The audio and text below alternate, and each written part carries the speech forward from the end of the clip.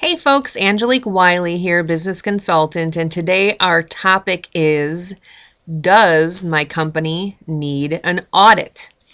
Now, you're probably thinking, gosh, what's an audit? All right, well, an audit really is you can have a professional third party or some kind of third party within your business come in, take a look at all of your processes, um, all of your records for a specific process and just make sure that it's up, up to snuff. You know, it's up to par. Um, you know, are is everything that you've put together as far as that process is it correct? Does it meet whatever the standards are industry wise or the regulations that there are, possibly government regulations wise.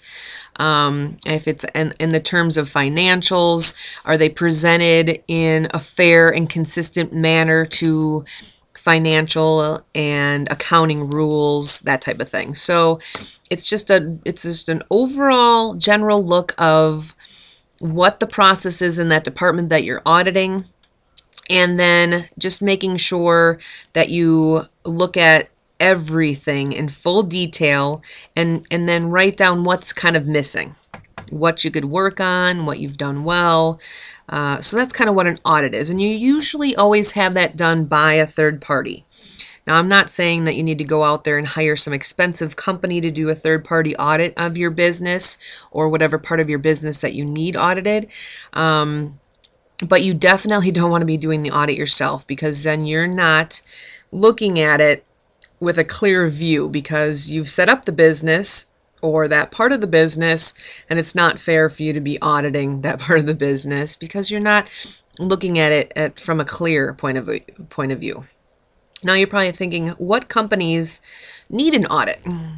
Um, if there is uh, an employee that leaves in a department, or that's a main part of your business. You might want to do an audit just to make sure that what that person was doing or what department or what that person was handling uh, is still running smoothly before you have somebody else take it over.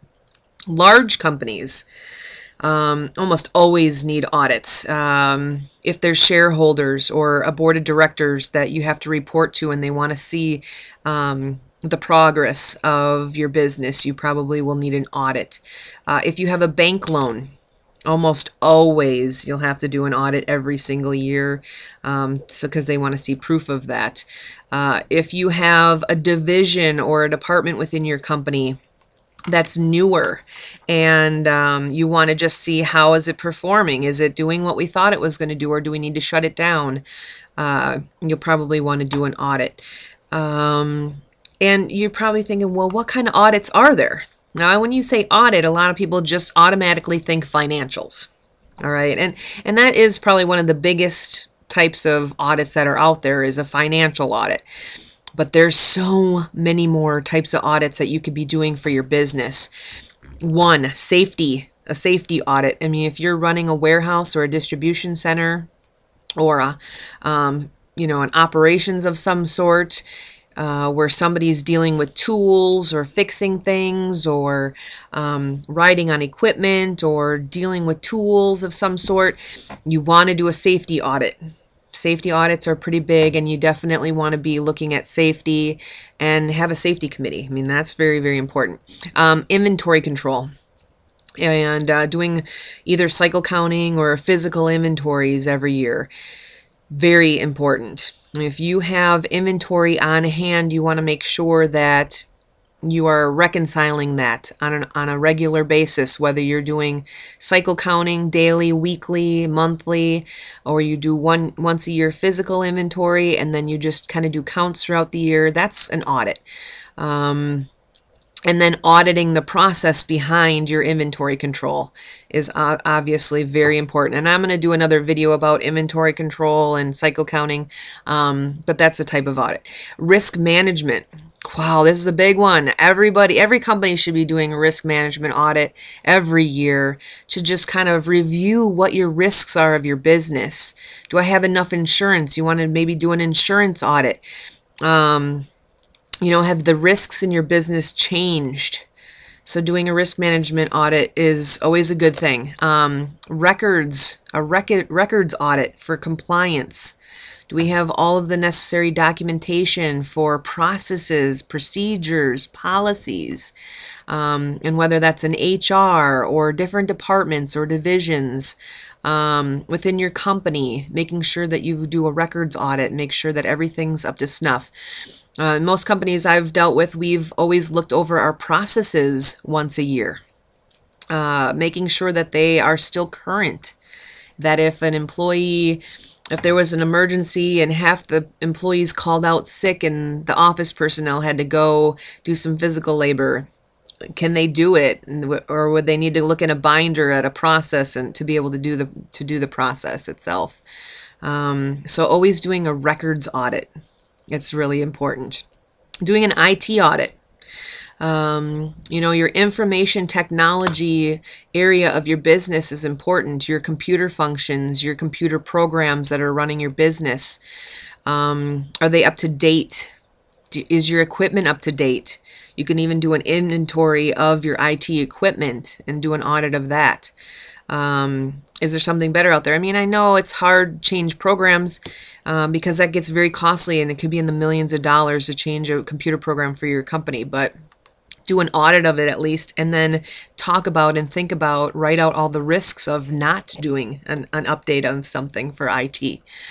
Um, emergency response and disaster recovery. That's a huge one that a lot of people, a lot of companies fail to do on a year to year basis is to what is our emergency protocol if something happened, um, if there was a terrorist attack, if there was a bomb threat, if there was, you know, something that happened, or if dis- disaster recovery. Let's just say that there was a fire in your warehouse or something did happen. Are the processes up to date and are do all the employees have copies of that? Um, so there's a lot of different areas that you can audit in your company. It's not just financials. I mean, when you're doing a financial audit, obviously all the financials are presented and they need to be in accordance with the um, generally accepted accounting principles and people may have heard this before it's the GAAP um, the, these rules or these principles they promote consistency and fairness in financial reporting through the business in all departments. So if you've got a huge corporation and you've got 30 different departments or divisions within that corporation, are they all doing their financials the same?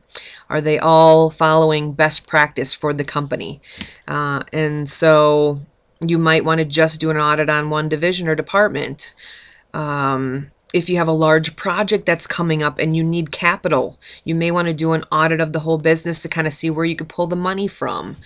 Um, there's a lot of different reasons why you want to make sure that your fi- financials are up to snuff, really, and up to par.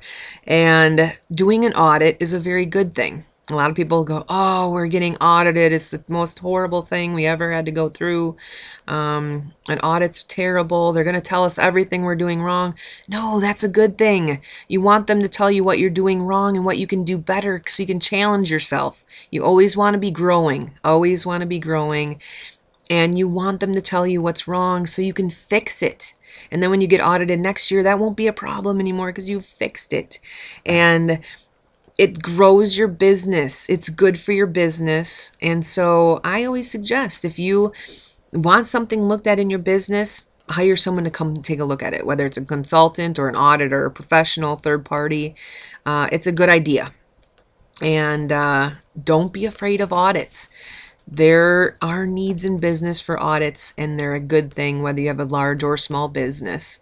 So don't be afraid and take it with a grain of salt growth is good. If they gave you some suggestions, you just learned something new in your business, and growth is always important. So, you have a great day and don't be afraid of audits and uh, start taking a look at your business and where do you think that you need an audit. All right? Talk to you soon. Bye bye.